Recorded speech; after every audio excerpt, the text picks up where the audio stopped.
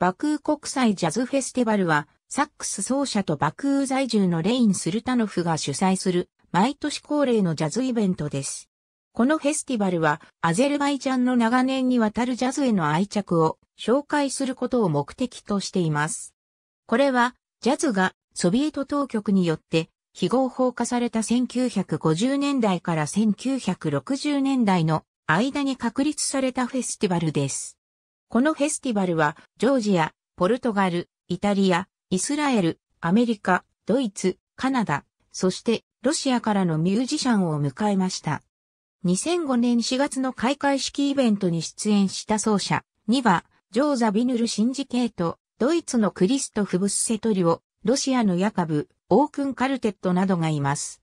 14日間のイベントには、トリビュートのアゼルバイジャンジャズミュージシャンレイフィグ・ベーブブと、彼のカルテット、そしてピアニストのバーギフ・ムスタファザデが参加しました。最初の祭りの終わりには、その祭りは毎年恒例のイベントになると発表されました。